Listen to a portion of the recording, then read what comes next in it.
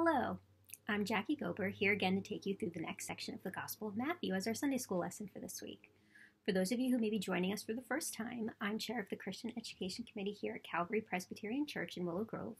And this past year, we've been going through the Gospel of Matthew in our adult Sunday school lessons. We were interrupted by COVID 19, so we're moving some of our lessons online just to finish out the book.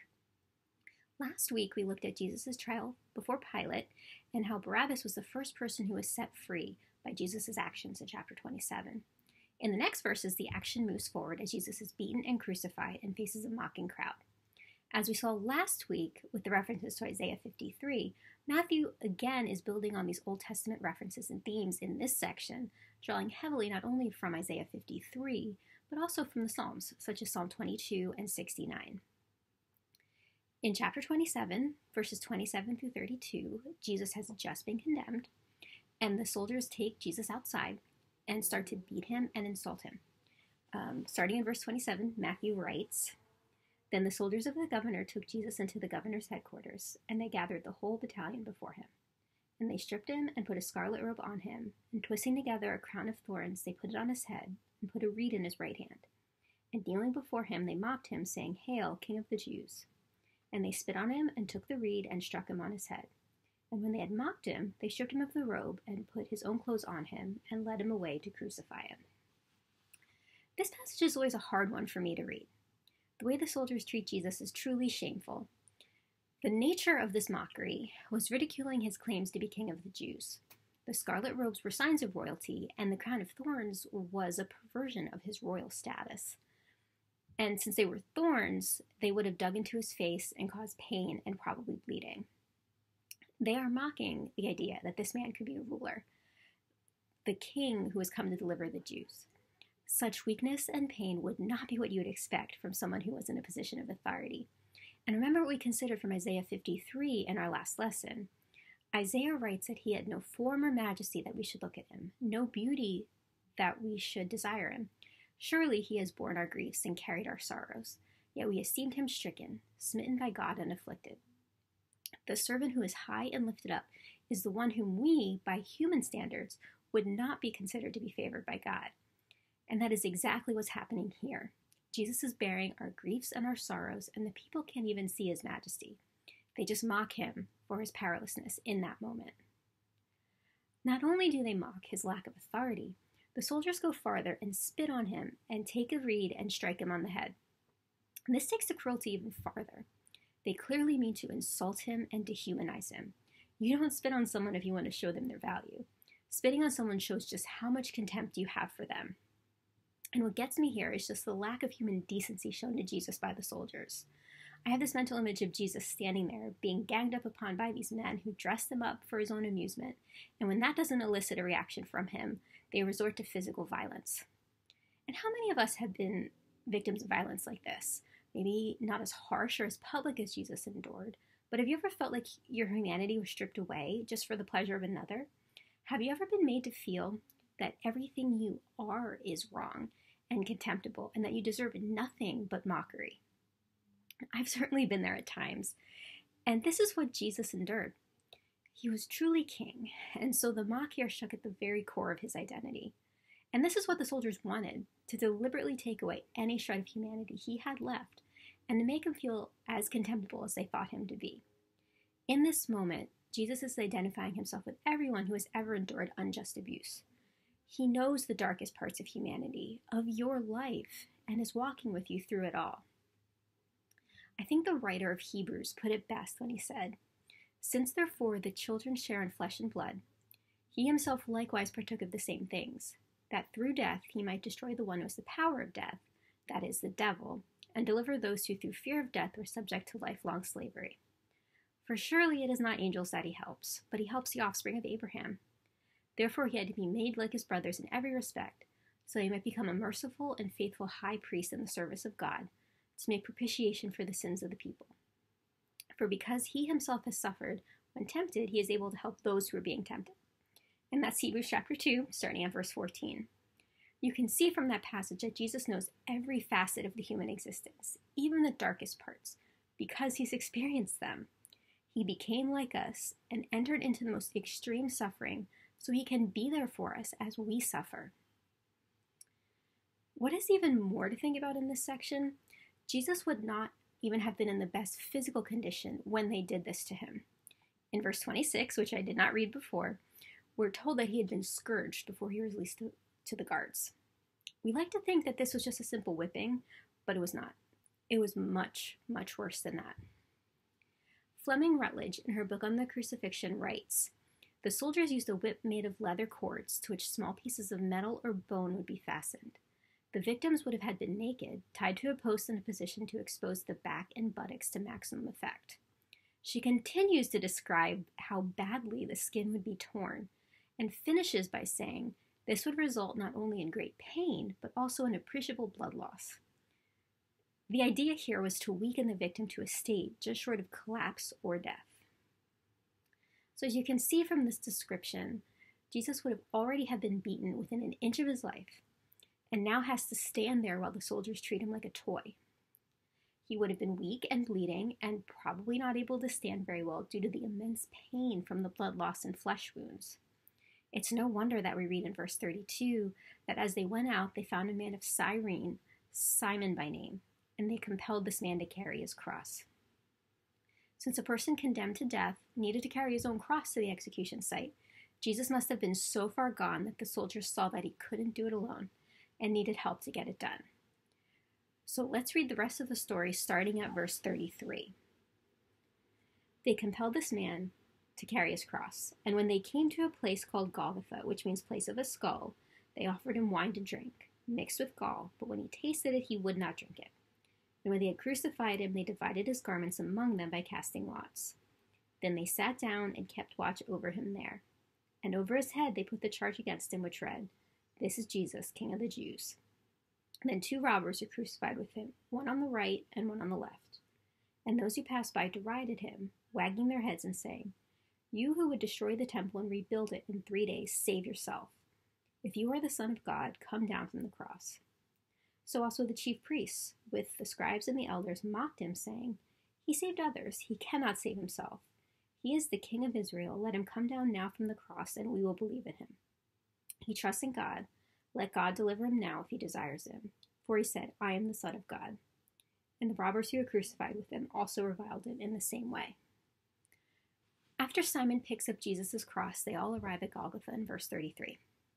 This site would have been outside of the city, as these sorts of public executions wouldn't have been seemly inside the city walls. The first thing that the soldiers do is to offer him wine mixed with gall. And this seems like a strange thing to us, but the gall added to the wine actually was a narcotic, and it meant to help with the pain of what Jesus had already and was going to endure. Jesus refuses the offer. He wants to be fully present and experience the full weight of what his crucifixion would entail. In verses 35 and 36, the guards take away his last earthly possessions and gamble for who gets to keep them.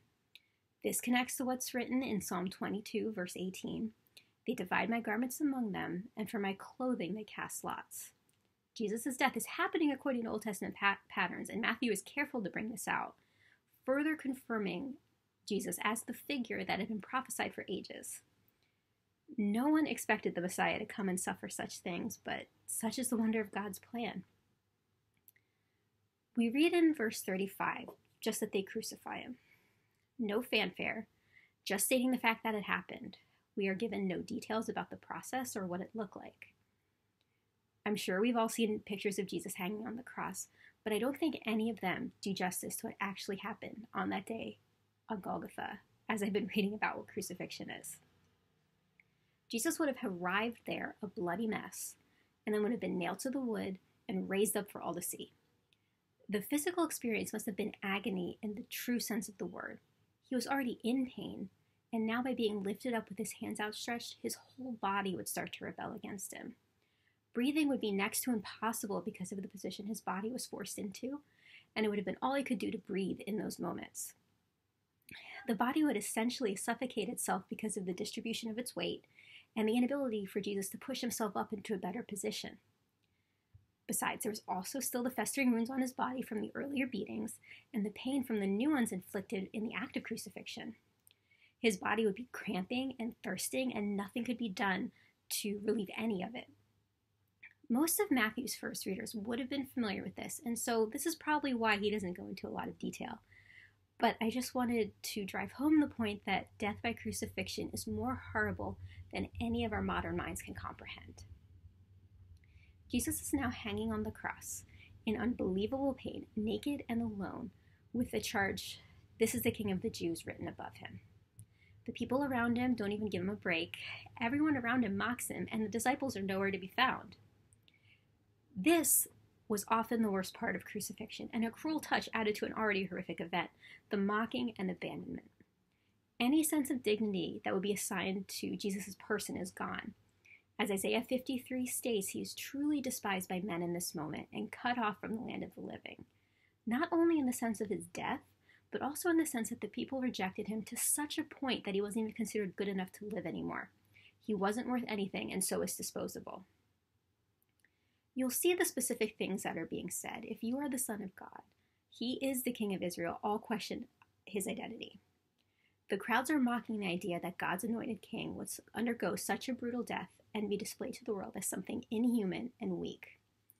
R.T. France, in his commentary on Matthew, rightly states that through the superficial jibes, we are able to glimpse something of the real meaning of Jesus' death.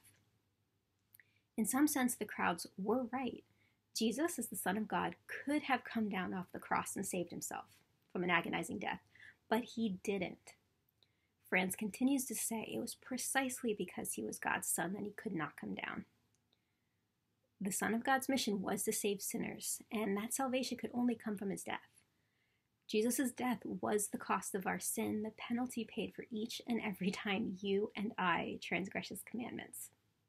It's a sobering thing to think about the cross being the way justice was carried out for our sin. Jesus took on this burden for us, and what a horrible, costly burden it was. By his death, by each and every blow that he endured, he was setting us free from the condemnation that we rightly deserve his ultimate resurrection shows us that is that he has overcome sin and death and is the one who can bring those under the sentence of death into new life with him. So Jesus endured this horrible death, excruciating physical pain, abandonment from all his loved ones, mockery and brutality from those who remained around him. Why? There's not enough time to go into the myriads of ways that people have attempted to answer that question, but I want to suggest something that we see in Psalm 22. As I mentioned earlier in the lesson, there are many connections uh, with this psalm as Matthew goes through his crucifixion account. But I want to point out that the psalm doesn't end with the pain, it ends on a note of deliverance and triumph. Yahweh saves David from his enemies. And not only that, this great salvation leads to praise and worship of Yahweh. And so it is with Jesus. Yes, he suffered unspeakable things, but his death was not the end. God raised Jesus from the dead, and because of that, we can know the salvation of the Lord. We can know that anything we suffer in this world does not have the last word. For everything that is suffered for the Lord, every Good Friday leads to an Easter Sunday. Maybe not now, maybe not immediately, but definitely in glory when we see him face to face. To close out this lesson, I'm going to read Psalm 22. As I read it, think about Jesus speaking the words. Hear the echoes of what we have just read in Matthew. Jesus suffered great things, but won an even greater victory. My God, my God, why have you forsaken me? Why are you so far from saving me from the words of my groaning? O oh my God, I cry by day, but you do not answer, and by night, but I find no rest.